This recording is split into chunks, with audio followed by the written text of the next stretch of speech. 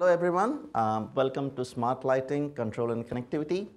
Um, over the next um, half an hour, 45 minutes, one hour, uh, we're going to discuss um, lighting. Um, we'll actually go a bit deep into LED lighting, um, but it's all about how we can do smart lighting.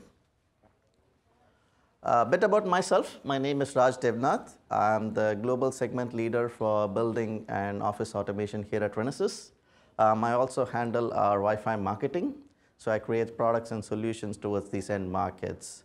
I have more than 15 years experience in the industry. I've been developing solutions at various end markets, um, of course, building and home automation, connectivity, video, um, consumer electronics. Um, I've had uh, put on many different hats. I've been a design engineer, I've been an engineering manager, a product manager, and more recently a global segment leader. I have an MSWE from UC Santa Barbara and an MBA from UC Berkeley. So you have seen this slide several times before, so you can engage with Renesas, uh, multiple different ways, devices, platforms, solutions. Um, during the course of the next one hour, I'll talk about uh, lighting, uh, more specifically about LED lighting, what kind of devices, platforms, and solutions that Renesas has. Uh, what we would ideally like you to take away from this, so we're going to start um, to discuss control and connectivity. We'll look at the current lighting solutions. We're going to first answer the question, why do I need to care about control and connectivity? Um, then we're going to address how are you going to address control and connectivity. Um, then we're going to look at something which we call smart lighting. What is smart lighting? How can you put that into your solutions? How can you add value add into your lighting solutions? Um, how is this going to help you? Um, we're going to follow the theme of the conference, accelerate, innovate, and differentiate. We're going to talk about how you can accelerate your time to market with connectivity and control, um, how you can innovate, how you can add features that your customers really care about, and how can you differentiate? I mean, lighting is all about energy efficiency, but how can I go beyond energy efficiency in my lighting solution? Terms of agenda, so we are going to start by looking at the state of the lighting market today. So we're going to discuss some market trends. Um, more specifically, we're also going to look at LED lighting. Why is LED lighting becoming so popular today? Um, then we're going to look maybe uh, one to two years into the future, and we're going to discuss about control and connectivity, what's coming up in terms of that for lighting. And then we're going to look even further. We're going to look three to five years into the future, and we're going to discuss what is this uh, thing about smart lighting. What are some of the value and features that people are talking about? And we're going to um, finally end with that and see possibly if the demo does cooperate with me, uh, maybe one demo on smart lighting. So we start with looking at the lighting market. So I mean, all of you have been familiar from one end to the other.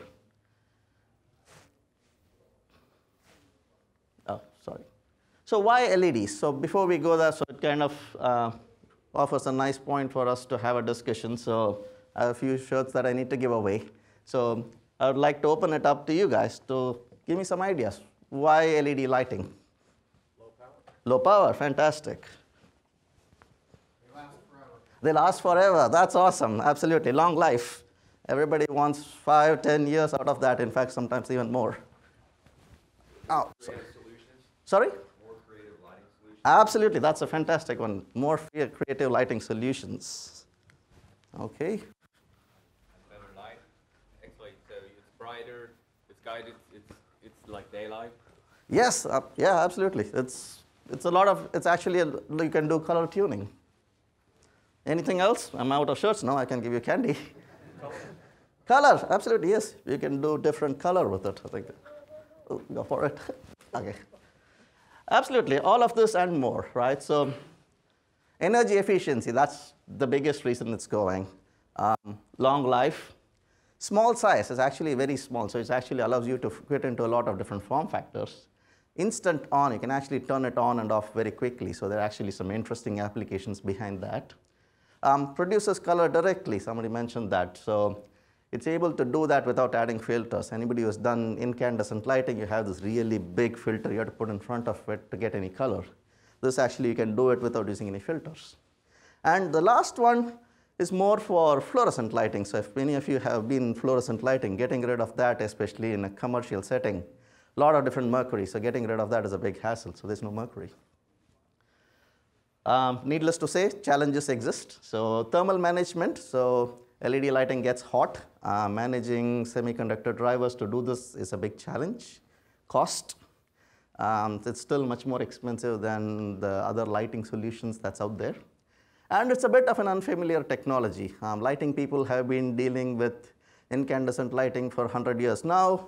Before that, they were used to dealing with candles. So this is unfamiliar technology, a technology that changes every two years or three years. So it's a lot of challenges. So there is healthy skepticism also about it. So first, what is the biggest driver? The biggest driver behind LED lighting has been regulations. And regulations came about because of energy efficiency requirements. So if you look at pretty much every country in the world, they said like, we don't want to use energy efficient, uh, I mean low efficiency lighting anymore.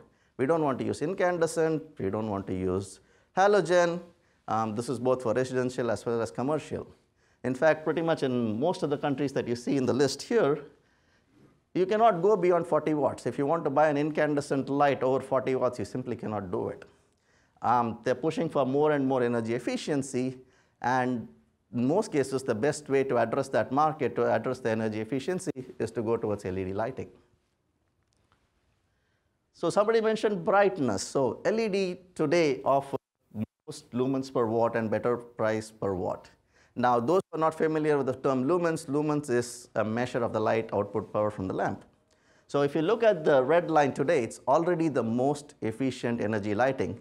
And the blue bar kind of tells you that it's not just reached its peak yet, there's still more to go.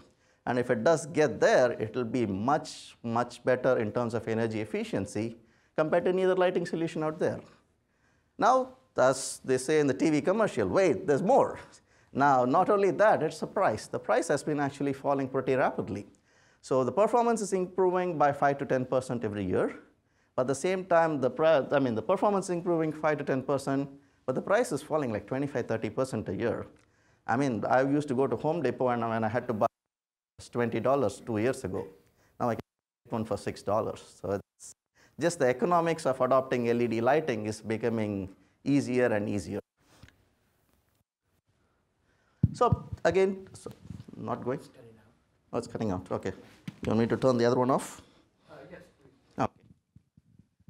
So the other part of it, let's, this is on? Okay. So let's looking at, look at some market data. If you look at the install base of LED lighting, we do see that we expect a pretty strong growth. Now this growth is basically across multiple end markets, whether you're talking residential, whether you're talking industrial, whether you're talking commercial. So all of these different markets, we expect to see a very strong growth in LED lighting.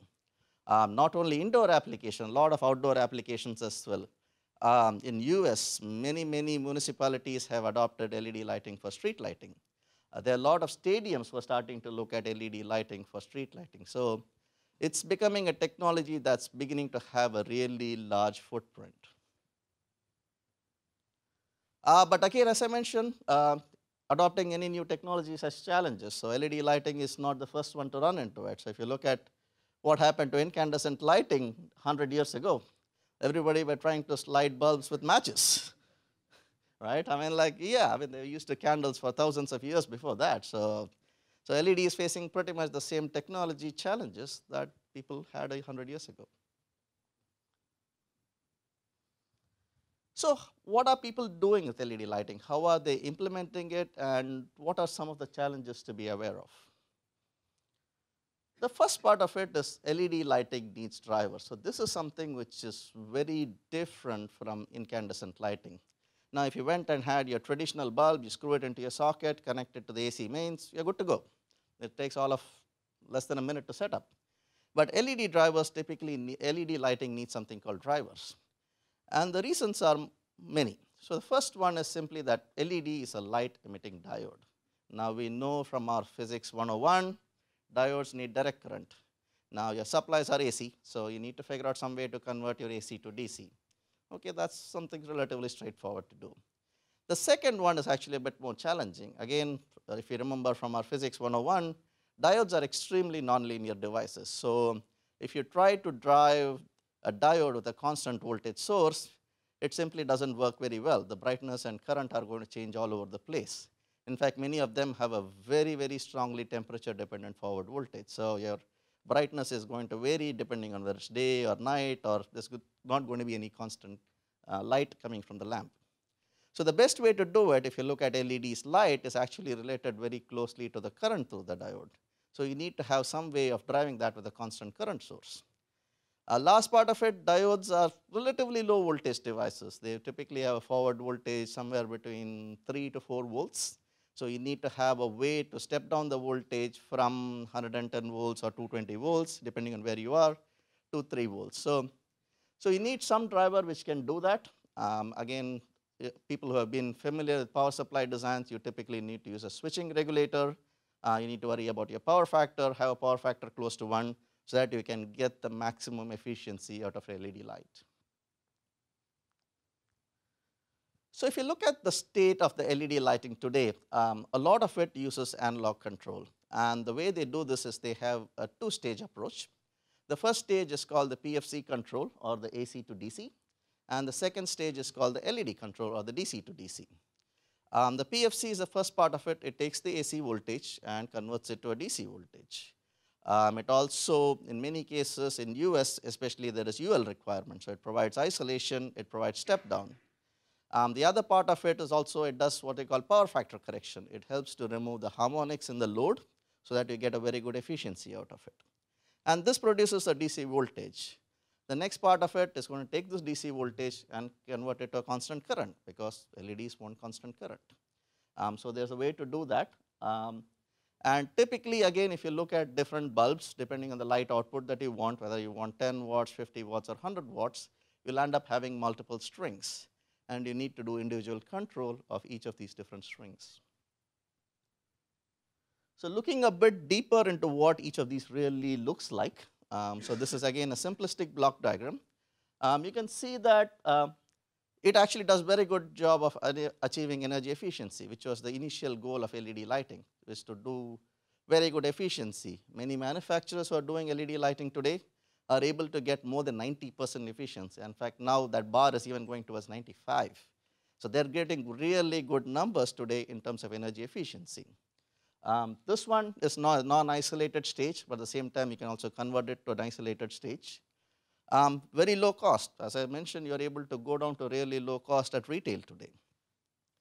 But what's the challenge? Now, the fact is, yes, you can go very low cost, but you're going to land up with a high component count if you start to include the number of discretes, and I shall show this in the next slide in terms of a reference implementation.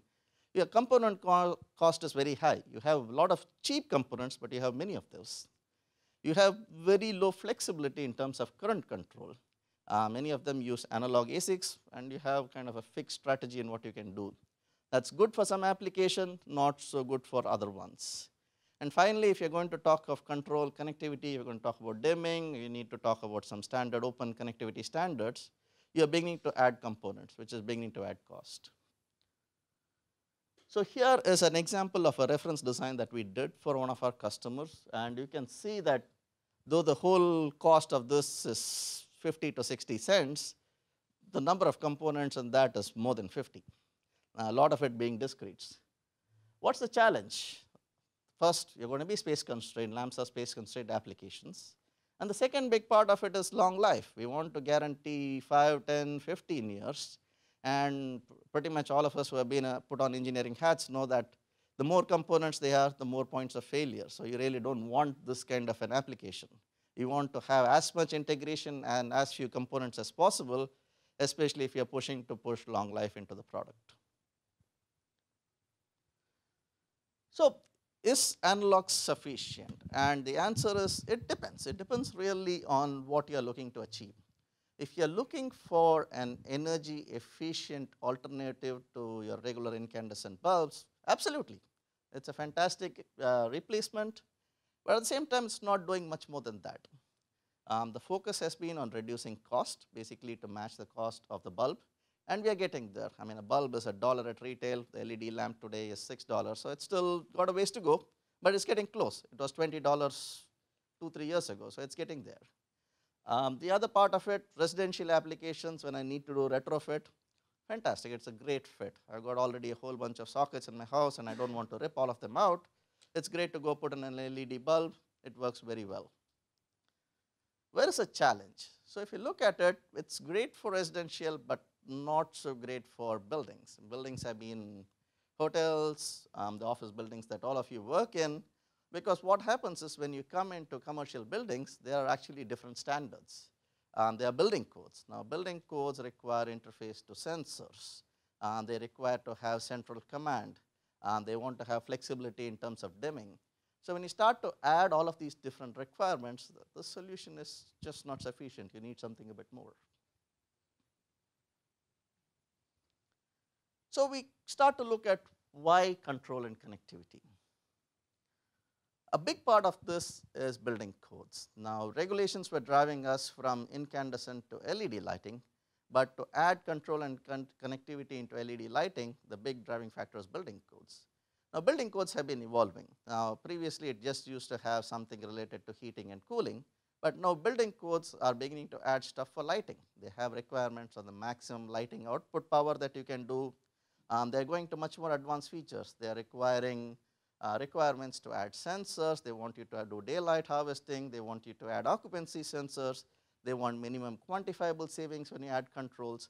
So as, to, as they start to add all of this, whether you're starting to look at ASHRAE, IECC, California has its own Title 24, all of these are starting to add a lot more codes geared towards lighting.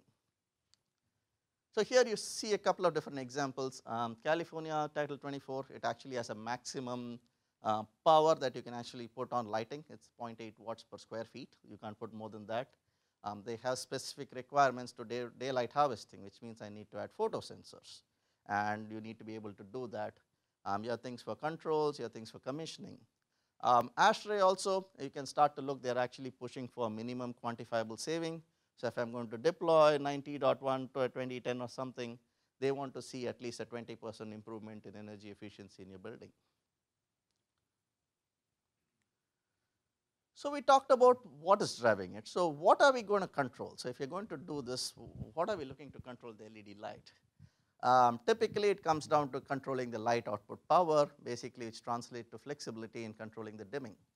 Now, again, the ideal wish list, if you talk to any marketing person, would be to go from 0.1% to 100%. That's the ideal wish list, but the reality is it's going to be a bit smaller. If you hit 1%, that's usually a good achievement. Uh, 5 to 10% would be acceptable. Uh, from a standards point of view, they may want you to go 5%, 10%, but again, the wish list is to do 0.1% to 100%. And the next one is a more interesting one that's kind of a bit of futuristic because it adds a lot more cost. Um, and we shall discuss this into the future application is ability to tune the color.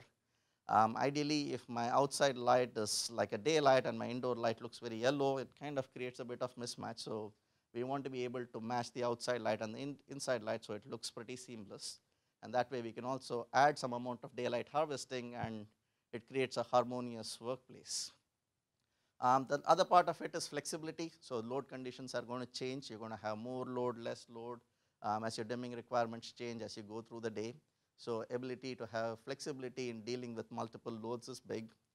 And finally, if you're going to have any building um, support for remote diagnostics, you need to have your central admin, uh, your building super being able to control all of your lights, so you need to have central control.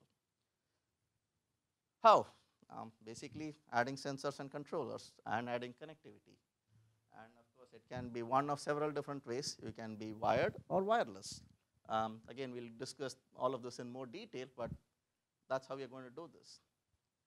And the other way you're going to, other thing which you need to go to is digital control. So the analog control is great if you're just going to do a fixed control, but when you start to do flexibility, um, digital control is really good. So it allows you to have flexibility in terms of having multiple topologies, having multiple schemes. We can change in software. Um, you can create one platform that you can create and then through software create multiple parts out of it, multiple geographies, multiple end applications. Um, it gives you a low BOM count. Basically, it allows you to do high integration, which means that you don't have 50, 60 discrete sitting in your system. And the last part of it, I mean, people who have dealt with MCUs know this very well. For the lighting industry, it's something new. Um, we can do a lot of communication. So we can host communication protocol stacks. It's fairly straightforward to do wired and wireless connectivity when using MCUs. So let's look at more of this platform approach. How do we do this um, using MCUs? So here are some of the common topologies that you use in lighting. So for the AC to DC, the first stage, um, typically there is a flyback. So this allows you to do the isolation as well as step down. Um, the other one is the push-pull converter. It looks similar to the flyback, um, the advantage being that it works on both halves of the cycle. So if you're doing high power application, you go with the push-pull. Uh, for moderate application, flyback is sufficient. Um, on the DC to DC side, again, um, people are dealt with power supply design, uh, very standard. You want to step down, it's a buck converter. You want to step up, it's a boost, and then you do a buck boost when you want the flexibility. Now, the interesting part of it is pretty much all of these topologies can be handled with a single MCU. So you can take the MCU, uh, you can all do all of this, usually the exact same chip will allows you to have the flexibility to do all of this. So you can literally create a platform, and then you can change it on the fly using software. The next part of it is control. So when we talked about control, a big part of what we talked about was dimming. And to do dimming, uh, there's a very standard way that the LED uh, industry has done this. And this is basically to use a switch in series with the diode. And we have a timer that controls the switch. And as the switch turns on and off, you control the current going into the diode. Um, as you change the duty cycle of the timer, you're going to change the amount of average current into the diode and then you're going to change the diode brightness. Let's pick an example. So I think very simple. Say I have a timer, it has a period of 100. If I'm on for 10 cycles out of 100, I have a duty cycle of 10%, which means that my LED light is on is 10% brightness. You can barely see it on the slide there. If I have it for 20%, so I have an uh, at 20% average duty cycle, 20% current. If I do 50%, it's 50% average duty cycle. And as I begin to have more and more on, the LED gets brighter and brighter. Now, the interesting part of it is this looks great, but this has a subtle trade-off. And the subtle trade-off is there's a trade-off between your minimum dimming level and your timer period. So again, let's pick an example. So suppose I want to do a 10% dimming. Your marketing guys comes to you and says, I want to do a 10% dimming. 10% is 1 over 10. So if I have a uh, on time of 1, I need a period of 10 cycles. Straightforward. Very easy. Now what happens if you need to do a 1% dimming? If you have to do that, if it comes up with, oh, I got a great opportunity, I need to do 1%. Person. Now you need to be on for one cycle out of 100. So now period now has become 100 cycles. It's it's 10x longer. And what that means is not only the period longer, but all the filters we have to put in terms of capacitors, inductors have become 10x larger. So it becomes a challenge from a space constraint. It also becomes a challenge from a cost constraint. All of these components are getting bigger and more expensive. And if you want to do 0.1%, it's like 1,000 cycles. So that's even more. So that's why you can see that hitting a minimum dimming of 0.1% is not just the timer, but just it becomes longer and longer and it has cost implications. Oh, sorry. Okay, I'm sorry, I didn't realize I'm not using the mic well. So, so how do we get around this trade-off? So the first approach that we have is something called dithering. Um, what dithering allows you to do is add an extra cycle um, into your timer output periodically. Now, if I have to do it in software, um, we take an example, um, pretty much the, see on the table on the right. Say if you look at saying we have 20 on cycles on a period of 100, so that's a 20% dimming. Now, if I have to do it in software, I can change it to 21, which means I got a 1% resolution step. Now, the way to do it is, if you're going to do it in hardware, I can have a peripheral that says, let me do 21 cycles every 16 cycles. Now, there's no way you can do this in software, but I can have a hardware peripheral that I say every 16 cycles, once every 16 cycles, give me a pulse which is 21, and the 15 other cycle gives me a pulse which is 20. Now, if you do the math, if you figure out what is my average pulse width now, it's actually 21 by 16. I mean, so because you have it on for only 1 16th. Now, effectively, you increase your resolution by a factor of 16. So now you can do 0.0625 percentage dimming without changing your timer period. Your timer period is still remain the exact same 100 cycles, But what that hardware has allowed you to do is do a much higher resolution. So this has an additional advantage. Now what it does is, um, so when you look at the control loop, it actually allows you to do something a bit more subtle. So when I look at, so here you see the diagram here, the one in the pink is the current through the sense resistor. The sense resistor is the one in series with the LED, so it's used to measure what is the LED current. Now if you look at the pink one, you're beginning to see fluctuation. Now again, maybe an open quiz at this time. Why do, you, why do we not like the fluctuation there? Bad lighting, uh, there's, another, there's a key word there which if you're used to LED lighting. Flicker, absolutely, there you go. It's flicker. Okay, oh, not a great throw, sorry. so that's flicker. So if you look at it, people say, oh, the light flickers under low light. If you go to like 1% dimming, I see flicker. And that's basically a loop hunting. It's basically a limit cycle right. So, so if you look at if you turn on dithering, it's actually become a lot, lot more stable actually. So your flickering artifacts actually go down a lot. So this is the other hidden advantage of doing dithering.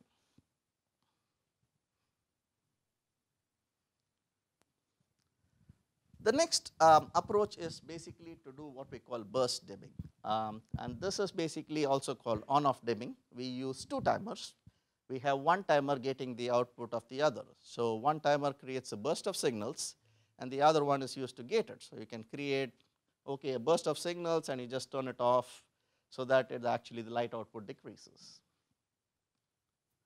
Again, uh, this has some advantages. Um, one of them has to do with physics of LEDs. So when you're doing LEDs, um, sometimes, not all of them, actually change color as the dimming level changes. So, the shade of red or the shade of blue or the shade of green changes are better. It's not huge, but it does change. So, when you're running at like high current, it's got something, and running at low current, it's got a slightly different color. Now, if you're trying to do something which has a very high CRI, color rendering index, that's a challenge. So, what this on off allows you to do is basically is keeping the same current level, but you turn it off when you're not using it. So, it appears less bright. And the other part of it is when you want to go to really, really low dimming levels, you start to kind of mix your dithering as well as your on-off dimming. And by using a combination of these two, you're able to go to really, really low levels. So in addition to timers, what else do we need? Uh, typically, we need a whole bunch of analog peripherals um, to assist the timer. Um, the first and most important one, of course, the ADC um, the ADC is what looks at the current running through the LED resistor, uh, through the, sorry, through the sense resistor and converts it to a voltage. Um, typical rule of thumb is it needs to be at least as good as the dimming level you are trying to achieve. For example, if you are trying to do 0.1% dimming, that translates to a 60 dB dynamic range. A 60 dB dynamic range translates to around a 10 bit ADC converter. So, so if you if you're marketing guy asks you to do a 0.1% dimming, so you're looking at at least a 10-bit ADC, if not more. The second part of it is the programmable gain amplifier. So when you start to run into really low currents, you actually have a signal, you also have a lot of noise. So you want to be able to gain up the signal so that um, you make the job of your ADC converter a bit better. Um, typically, uh, if you are able to do a gain anywhere from 4 to 16x, that translates to anywhere between 2 to 4 bits. So your ADC effectively looks as instead of being a 10 bit, looks like either a 12 bit or a 14 bit ADC. The next part of it, of course, comparators. So user safety is a big thing um, uh, when you're doing LEDs. Um, the other part of it, we are usually trying to guarantee pretty long life. So overcurrent is a very big deal. So if you're running, a, running your LEDs hot, Instead of running for 10 years, it's going to fall back to 5 years. So you're going to get a lot of complaints and product returns. So having a comparator that actually turns off the current when it gets pretty hot becomes very important. And a part of it also is you have a DAC. So if you want to set a threshold for your comparator, you want to say, okay, uh, once I hit this, start to turn this off. This allows you flexibility in terms of how I can actually set preferences to comparator thresholds. So that's with dimming, that's the control part of it. The next part of it is connectivity. Now, if you look at different buildings, um, there are multiple types of buildings. So The first part of it is very simple. Um, you're talking of just a simple room. You just want an on-off control. Maybe you have a sensor or two, uh, but there's no connectivity to outside. It's very simple. The next part of it, local systems, maybe you've got a zone in a building, a group of different buildings, um, you do some proprietary connectivity, um, you have some pre-programmed logic, turn on at 9 o'clock, turn off at 5 o'clock. Um, simple, but one more level of complexity over a non-connected bulb. The third one, a fully integrated system, and this is the one we shall dig a bit deeper into. Um, these are where you start to integrate into your building automation system. Um, you typically are looking at open standards, um, both on the wired side as well as wireless side, so that um, you can bring in components from a lot of different vendors to create the whole system. Um, it allows you to create open protocols. It allows for remote monitoring. It also allows for cloud connectivity. So if you've got your certain buildings that you want controlled centrally, um, you got some of them which allow you to do that. So on the wired side, um, you got a whole host of communication protocols. Um, two of the most common ones are 0 to 10 volts, which is very common in US, and what we call PWM dimming, which is very common in Japan. Uh, very simple protocols, everything that's wired together behaves together similarly. So it's very simple, so all of them share the same bus. Um, the flip side of it is uh, they are very simple in the sense that you cannot have individual addresses. So they're all going to behave together. So if you want to control some set of lamps differently, you'll have to build a different network for those. And the other part of it, it's one way. So the master is going to talk to all the slaves. It's just going to put a command, and there's no way to get data back. The next one is DALI. Now this is the one which is um, extremely popular. Um, the first part of it is DALI allows individual addresses. So you can address each lamp individually. Um, the standard is flexible enough that you can address sensors as well as lamps. So it allows you to give that flexibility. It's a two-way communication. So I can have sensors which are actually creating data, telling the controller, okay, I see 10 people there, you need to turn on the light. Um, you have ability for the master then to talk to the LED lamps, okay, turn that on. The other interesting thing about DALI is that it actually puts out power on the lines. Um, this is something not everyone is aware of, that it actually allows you to put power also. Um, the power is, I think, limited somewhere between 12 and 20 watts. I don't remember the exact number today, but um, what that allows you to do is I cannot power my LED light out of the DALI, of course. I still need an AC source. But if I have sensors, if I have got occupancy sensors, I've got daylight sensors, I don't need to pull another set of wires. I can easily power them out of the DALI bus. Um, the challenge with DALI, uh, it's got a higher install cost. You'll have sometime have to ship a DALI bus along with it. It's not as low cost as your 0 to 10 volts. The last one, um, this is not as common, but still we've seen some people do it, is to use Ethernet. Um, Cat5 cable pretty much is available standard across pretty much every office building, um, every commercial building you see this IT infrastructure is out there. Um, there is power over Ethernet, so which allows up to 24 watts on the single wire. So that makes it also flexible in terms of, okay, I don't need to have the labor cost of pulling another set of wire. Um, so that is another option, but of course the cost of an Ethernet connected bulb is much higher. So uh, very limited installation, but we do see people use this. So let's dive a bit deeper into DALI. Now, typically if you're doing DALI, you need some sort of hardware support. Um, I say this, but if you look at the history of how people have done this today, they've actually done it in software. They actually do it in software um, and they toggle a GPIO pin. Now, that works. It works for actually many applications, but it's got a few challenges. The first part of it is CPU intensive. So every 4.8, uh, so the data rate is anywhere from 4800 baud or 9600 baud. So each time the pin toggles, you're going to get an interrupt. So your CPU is going to get an interrupt every 5 to 10 milliseconds, which means it's not going to do something much more than just the DALI. Um, so if you want the CPU at the same time to do your dimming, it's not going to be very good at doing both. So, so if you're doing DALI, usually people have an MCU for DALI and MCU for dimming control, which kind of goes against your high integration concept. Um, the other part of it, software. So when you're trying to do um, delays in software, yes, MCUs have a certain bound, they can do that, okay, but there's going to be variation. Now all of these specs have a limitation in terms of what the bit width needs to be, especially if you have multiple slaves hanging on the same wire. So Um, sometimes people have a challenge in setting this exact bit width. There are people who try to use timers to do a more precise width, um, but there's some challenge in doing it completely in software. And finally, there's a new version of DALI coming out, oh, DALI edition 2.0, and that requires much more hardware support and the software approach doesn't scale very well to that.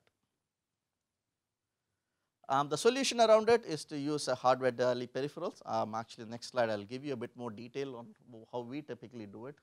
Um, the big part of it is the peripheral handles pretty much all of the data communication, uh, which means the CPU is freed up to do your dimming control. So you have the integration of using only one MCU. And the good part of it is you're beginning to get more future proof. You add enough features in the DALI peripheral on the hardware side so that you can actually forward port it to edition 2.0. So this slide kind of shows how we do the implementation of the Renesas MCU. Um, so this kind of shows um, the data flow in and out. So typically you're coming in on a wire, you have a diode bridge basically to filter the power out um, and then you come in into the MCU itself. Um, on the MCU side, uh, DALI has something called Manchester encoding. So we have a hardware peripheral to do Manchester encoding on the transmit and Manchester decoding on the receive. Um, but we also do packetization, which means we add start bits, stop bits, framing bits. So we add all of that. So your CPU is not actually working to do all of this. All of this is being done automatically by the peripheral. All that the CPU says is this is the payload, send it out, or this is the payload, take it in into the system. So you can see again um, from the table here, DALI has a whole list of specs. So I think this is just a very short list and pretty much most of these are supported by the hardware DALI peripheral. So you start to do this in software, it starts to become pretty tedious quick.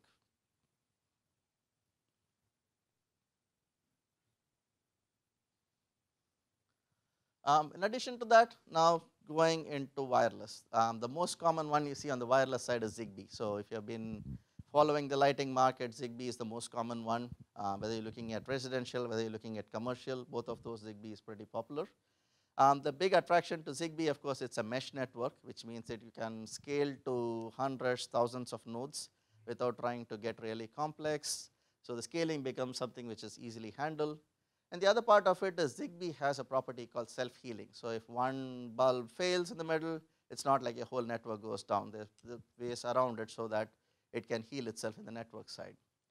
Challenges with ZigBee, the biggest one is need for a gateway. So if you've got ZigBee, it doesn't translate very well to our TCP IP world, uh, which is our normal world smartphones, PCs and all of those. So you need a gateway and that's a big stumbling block for many implementations. Um, some challenges with interoperability. So ZigBee's profiles sometimes work well, sometimes they don't play nice with everybody else. So there are some interoperability concerns, though it's become less uh, compared to what it was. And the third part of it is um, there's more and more interest in 802.15.4. So um, the limited use of ZigBee outside of lighting is beginning to get mitigated out of that. And the next one that we see is Bluetooth Smart. So everybody is beginning to have Bluetooth Smart on the smartphone. So they want to see, can I talk directly from smartphone into the bulb? That's what everybody wants to do. So that's the big attraction. I don't need to have an extra box. I can directly talk to my smartphone device, my laptop, um, and it's a very low power operation. So that's very important when the lights are turned off.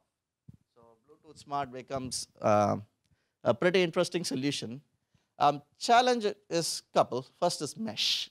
So it doesn't support mesh. There's a roadmap to do mesh, but that's a bit further out. Um, so that's the first challenge, which means I have to talk to individually one lamp at a time, which is kind of not scalable, but if I'm sitting in a home, that's a fantastic thing. I can turn off the light from my bed, but if I want to do it for a building, it becomes a challenge. Um, the other part of it is range. Um, Bluetooth Smart itself has been created for fairly short range. It started in the wearable industry, in the activity monitor industry. So um, the range has been limited. So when you're trying to get into a building and you're trying to go to a longer range, there's been some challenges with using Bluetooth Smart. Last one is Wi-Fi. So Wi-Fi again, uh, pretty much the biggest advantage of that, it's the most commonly installed wireless. So if you go any office, any commercial building, you got Wi-Fi. I mean, if you go into any Starbucks, you got Wi-Fi. So that makes it easy. It makes it easy to set up a network. Um, it's a direct connection. I don't need a gateway box. Challenge, of course, is cost. If you're going to put Wi-Fi in a bulb, it's going to get pretty expensive quick. Um, finally, sub-gigahertz, um, there are many of those. Each vendor has their own sub-gigahertz. Uh, the good, thing about sub-gigahertz is it allows you to achieve low cost. Um, it allows you to achieve long power, I mean uh, low power and long reach. Um, challenge of course is vendor lock-in. You're, you're locked into a specific vendor, you have no interoperability. So you got to go pretty much get the entire BOM out of your same vendor, whether it's your sensor, controller, your network, everything. Now that is usually people are trying to get away from that. Uh, so if you have attended the Renesas um, Bluetooth um, um, course, you would have seen this. We offer a great solution for Renesas for the Bluetooth low energy solution, the Bluetooth Smart. Uh, very low BOM cost, highly integrated solution. Uh, you take the device, add a few components, you got a ready to go solution. Uh, low power, so which is very useful when you're actually operating off because your lights are not only going to remain off, many cases, a lot of them are going to be off. So you don't want them to be vampires actually sucking out power when they're off, right? So you want them to be actually as low power as possible when they're off. And finally, we have something called an adaptable RF technology. You got trade-off between sensitivity uh, and power consumption. So when you're doing long reach, you want higher power. When doing low reach, you want more less power so that you can conserve battery life. In addition to that, we have solutions, Wi-Fi solutions with our partners. So we have two partners. Um, the first one is called Redpine Signal. So we have um, 802.11 ABGN solutions with them. Um, it offers high throughput, um, good reach, uh, we have multiple solution kits available with them for most of our MCUs. Um, the other partner is Gainspan. Um, again, uh, we have 802.11 BGN solutions with them, uh, low power operations, and then we have multiple solutions again for all our MCUs. Uh, we also have some very cool smartphone apps to control lights um, using a smartphone app to control the board. So if you look at all of this, I mean, we talked about control and connectivity. We talked about a lot of it over the last few days, uh, last few slides. Um, so Renesas, um, the, we have a lighting MCU which we call the RL78I1A. Uh, pretty much supports everything that I talked about. So about, you've got hardware and software to support multiple topologies. You have dimming control. We have all the different analog peripherals. We have the connectivity solutions with hardware DALI, as well as solutions with Bluetooth and Wi-Fi. So if you look at this, uh, there's one concern which is actually creeping up in LED lighting. So as long as LED lighting was just wired, it was not a big concern. But once you start to go into wireless, there's a concern that it becomes open for hacking. It becomes a security hole in the system. So again, as you have heard uh, during our panel yesterday, people are going to go after the weakest link. So people are, we have had instances where people hacked into the bulb, they got only not only into the lighting network, but they actually went into the home network and were able to steal Wi-Fi passwords. So it's like, yes, you are the starting point and depending on how authenticated you are with your lighting network, you are basically exposing yourself. So we had quite a few of these. There was one company called LIFX out of San Francisco which had that, and then there was a Philips Hue bulb which went through that. So a few of these which challenges. Um, again, if you've heard about Renesas Synergy, so there are a couple of courses which went into fair amount of detail in terms of hardware and software security. So we offer a complete solution. So when you start to look at wireless solutions, um, having these software libraries are important for secure communications and over-the-air upgrades. So again, uh, this is more of an eye chart at this time. Um, so we have actually looked at several different IoT threats, and we are creating pretty much a scalable product family. So depending on the needs of your application, we can customize the level of security that you need. So with that, uh, jump into the next part, um, which we call smart lighting. So smart lighting is what we call features that are coming out in the next, not one to two, maybe a bit three to five years down, further down. Um, again, we have talked about this a bit already. Um, the key challenge with LED lighting today is it's becoming a commodity. I can go to Home Depot and buy a bulb for five bucks, six bucks. So if I'm a lighting manufacturer, I need something else to do. I need to add some other value into my lighting basically to differentiate.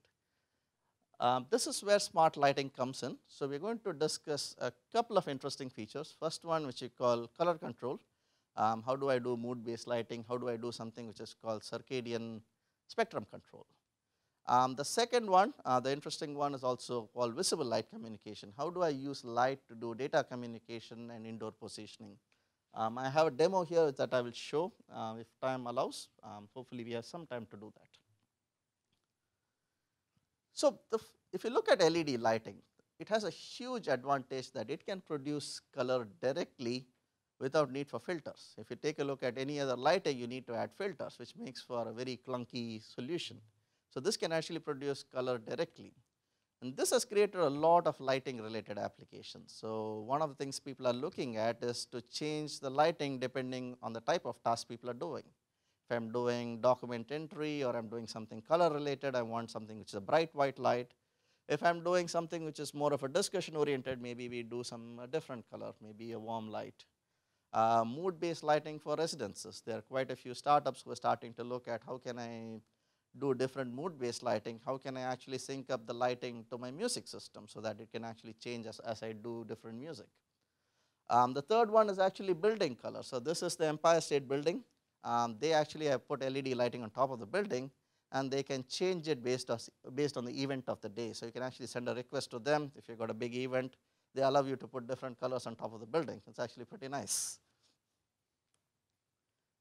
Um, the other place where people are starting to use this is in surgery. So, when you're starting to have a surgery um, or you're starting to do medical, uh, you need something which is uh, what we call a high CRI. So, which means that you actually have color reproduced accurately. Now, this is very important when you're doing surgery.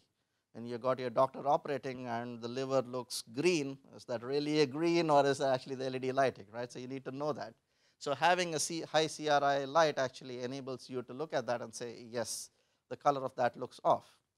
Um, the other thing is actually many of these surgeries usually are pretty long. Um, some of them run into 10 hours, 15 hours, especially if you're going to open up the body cavity. So, having LED lighting actually lowers the temperature of the operating table by up to 10 degrees, which means that over a 10 hour period, there's less drying out of the flesh. So, a lot of hospitals are starting to look at this very seriously for the operating tables. Uh, the other one is it also, uh, this is a lot of new research going on. Um, so, people are starting to have lighting which actually mimics a circadian um, rhythm. Now, circadian rhythm um, is basically changes in people's behavior responding to lightness and darkness.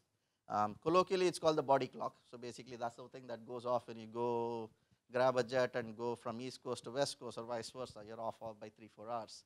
That's your body clock. Now, the interesting thing about your body clock is actually it's not 24 hours, it's actually longer than 24 hours, but basically exposure to sunlight syncs it up to a 24 hour cycle. Now, the interesting thing is actually having a healthy light is one that mimics this. So, the color changes not only in brightness, sorry, the light changes not only in brightness, but also in color. So, if you can see that the color changes as the day goes on. So, having a light that actually mimics this actually is very productive. So, there have been studies showing that it's less accidents, more productivity, people are feeling healthier, they feel better.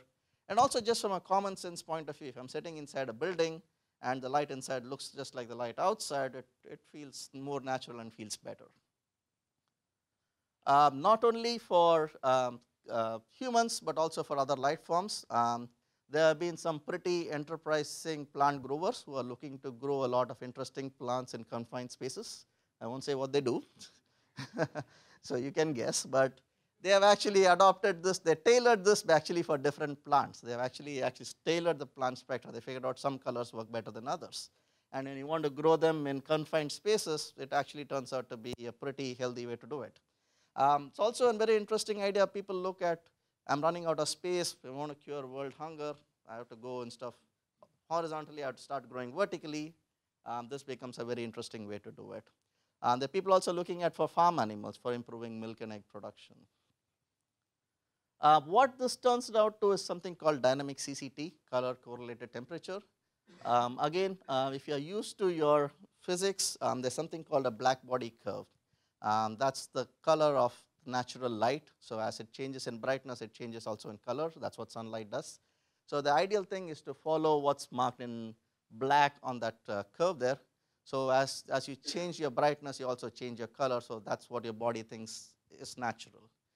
So in terms of implementation, what we need to do to implement that is to blend multiple LED strings, synchronize all of those, have multiple timer channels, typically um, four timer channels, four ADC, so we support all of that on the I1A.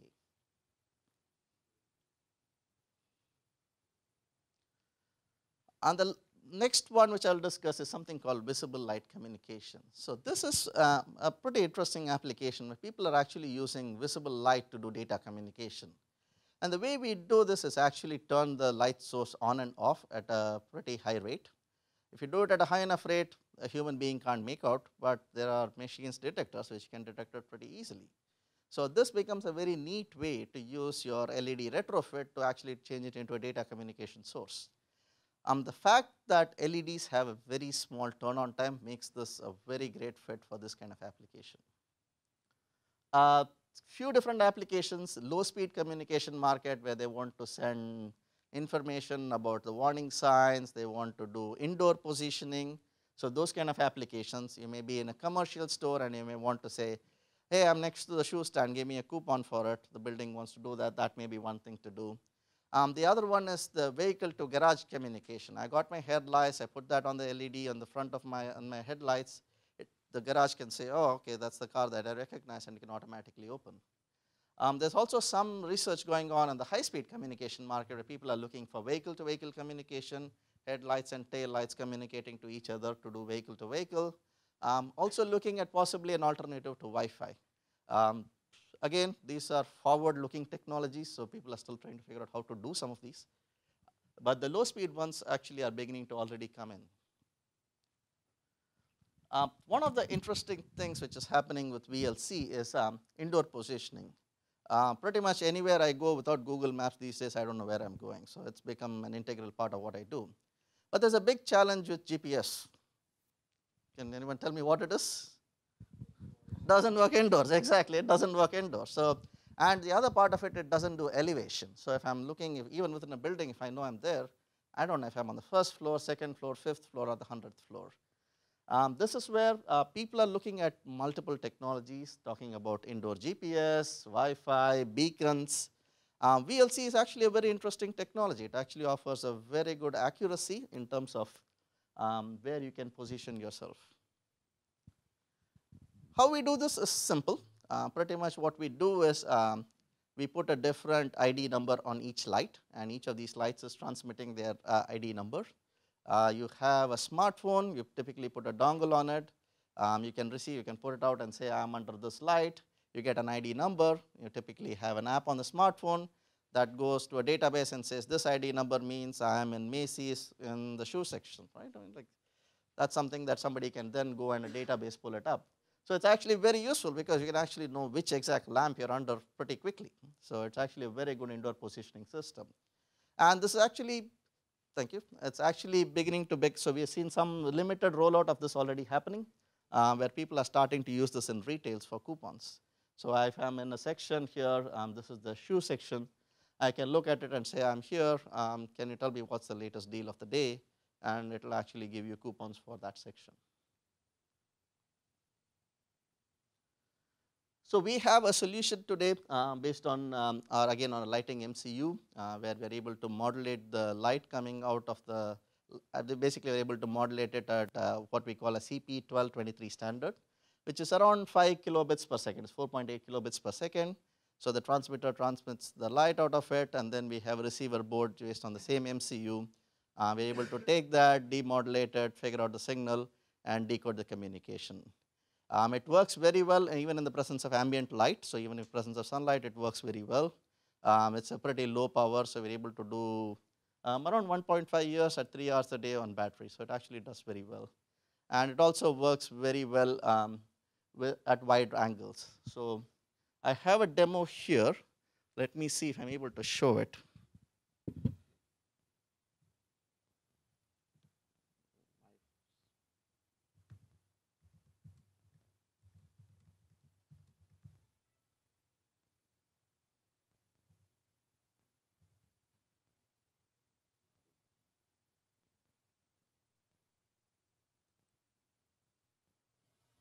So I have the light being transmitted out of this transmitter.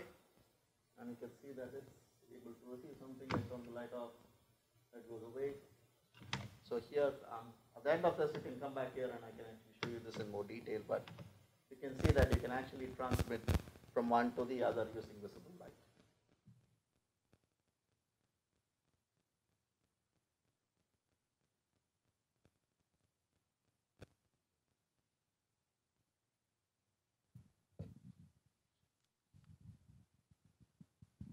So, uh, so coming to the end of this, um, in conclusion, um, we discussed about control and connectivity. We have talked about why. We talked about how are going to add, about, add uh, connectivity and control. And we have discussed a couple of smart lighting solutions. Hopefully, at the end of this course, you have the tools, um, figured out how you can accelerate your time to market with connected lighting, um, possibly had some couple of ideas of what kind of LED features you can add into your application and how you can differentiate beyond just energy efficiency for your lighting. Thank you. Uh, open it up for questions. Yes. Can you go over again which kits you have that are ready to buy, that do VLC and also like dimming and Yes, so with the DALI, uh, we have something called the EZ0012. So if you, uh, you can send me an email, I'll give you my card.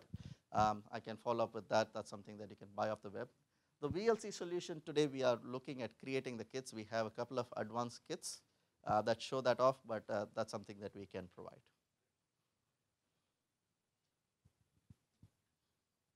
Any other questions?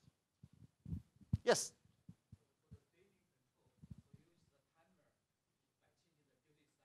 Yes. Uh, you can, now you can change the, the so, so the question is for a timer, can I change the frequency or can I change the time period? Now what you need to effectively control is the average output. Now if you change the frequency and keep the same duty cycle, then your average current is not going to change. But if you keep the same on time and change the period, of course you're changing the duty cycle. So you can do it either way. So you, the one is called a PWM and one is called a PFM. But the approach is same. You are looking to change the average current in a predetermined way to change your LED brightness. Okay. Any other questions? Yes, please.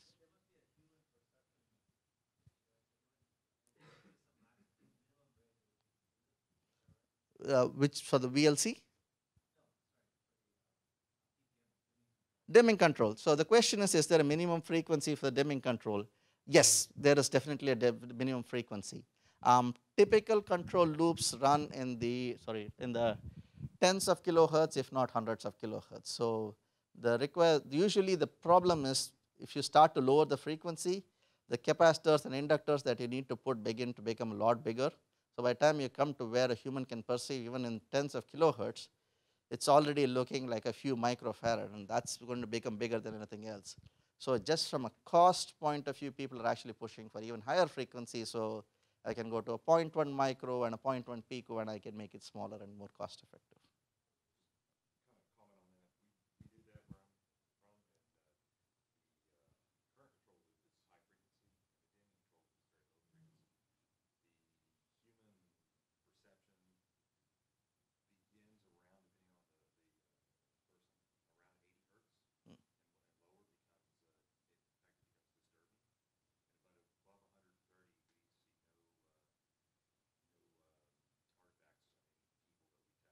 Okay.